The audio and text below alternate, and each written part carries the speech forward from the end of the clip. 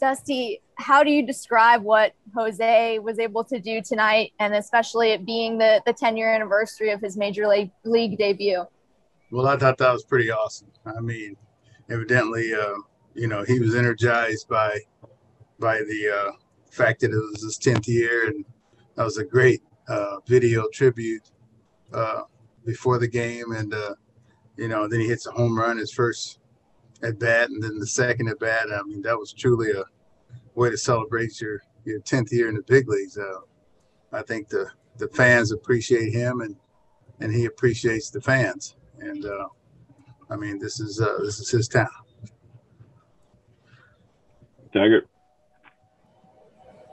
How have you learned to grow and appreciate him over the last couple of years, as as opposed to being a guy who's watched him, you know, from afar and on TV?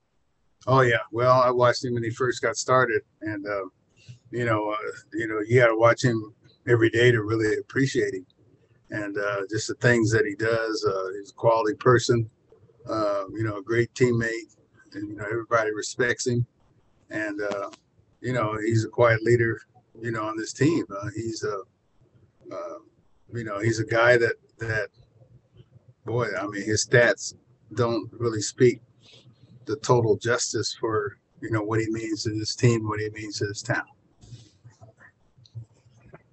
Christy. Dusty, he's uh, obviously done a lot of great things, even just since you've been here. Is there anything he does these days that surprises you? Well, you know, the one thing that surprised me is is the, is the amount of power and bat speed that he generates.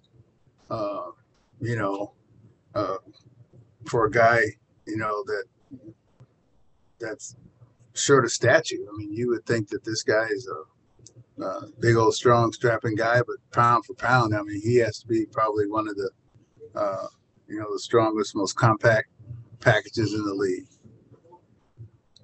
Honest boy. Dusty, uh, we're kind of used to seeing him maybe ambush guys to get to get the home runs. Today, the first homer came on a six pitch at bat. The second one was on a seven pitch at bat. Does he not get enough credit for his ability to work counts? Um, well, I don't think he gets enough of uh, credit for his ability to to reach all pitches.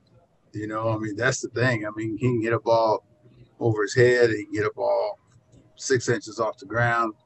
Uh, I mean, this guy has uh, tremendous back coverage, and uh, and he finds the barrel of the bat uh, as well as anybody that I've ever seen. Uh, so uh, if he asks the opposition, I'm sure that they'll, you know, they give him plenty of credit. But boy, I mean, he's a heck of a player. I mean, a tremendous player, one of the best players that I've been around, one of the best players that I've ever seen. McTaggart.